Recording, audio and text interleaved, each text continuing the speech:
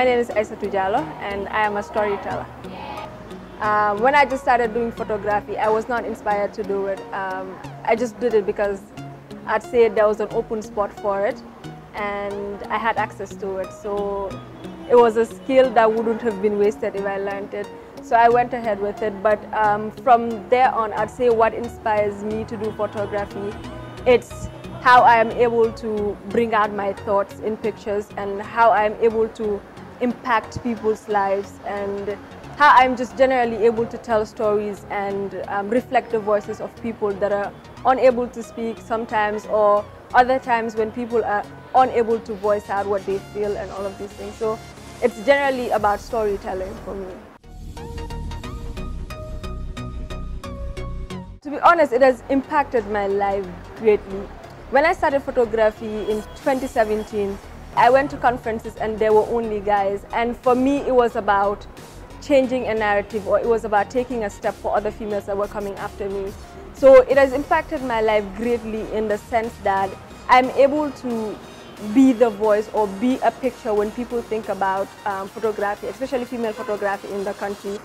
So for me, it has impacted my storytelling, it has impacted my confidence as a person, and people generally just come to me now. Um, I recently did the exhibition and a lot of women have opened up with on how that has impacted or how that has inspired them as women on to take up, especially embrace themselves as women.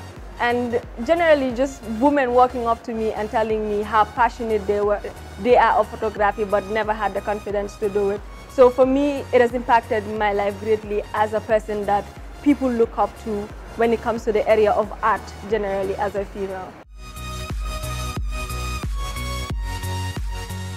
When I had the idea of the project back in 2018, I finally got to do it in 2019.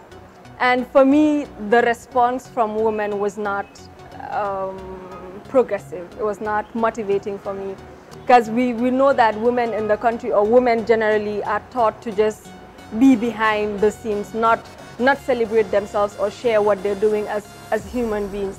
So I, I reached out to a lot of people and a lot of them were telling me they were camera shy and all of these things. So, so for me, selecting the people that I worked with or that I exhibited were generally people that inspire me as a person. So I wanted to start with a sect of people to push forward the agenda. Because I feel like once people are able to see faces or attach faces to the project, they will be confident enough to come forward, which is the case right now because I have like a list of women that I'm supposed to do the shoot with because they saw the exhibition and they want to be a part of it.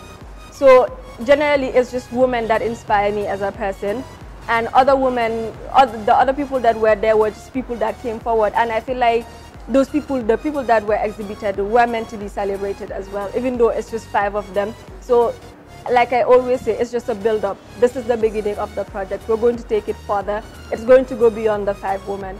Um, as much as I wanted to, it's going to reach the shores like the farthest places in the Gambia.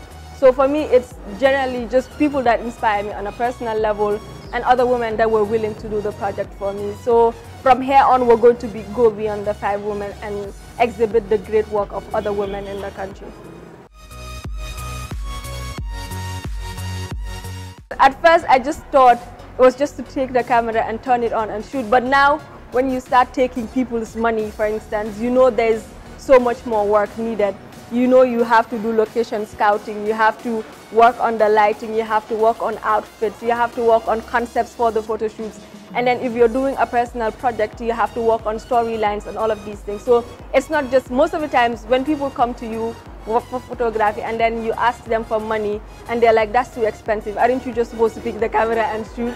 And then you list all of the things that you're supposed to do for them from concept to location to storyline and outfits and all of these things. Then they, get to understand it's not just picking the camera to shoot.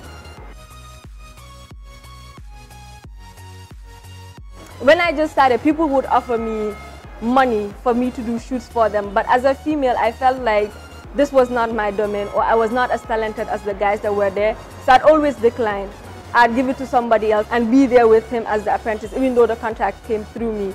So I'd just say if it comes to you or embrace everything photography is and find your niche because I feel like that's one of the problems photography is facing in the country. Everybody wants to do everything about photography.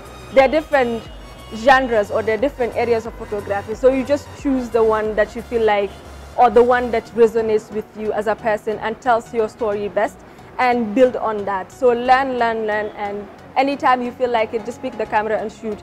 You shouldn't let your gender or all of these limitations define what you do with your art. So whether you're a female, you're a guy, irrespective, you have two hands, so you can do it irrespective of what.